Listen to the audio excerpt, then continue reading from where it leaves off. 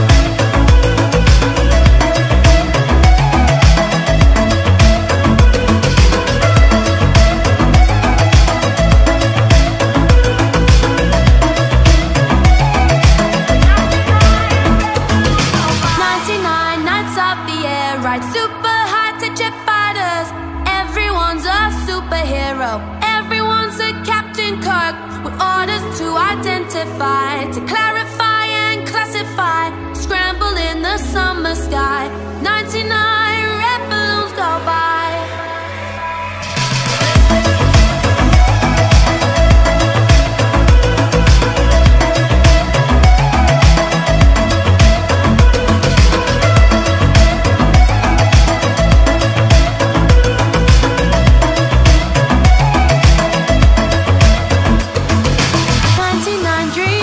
I've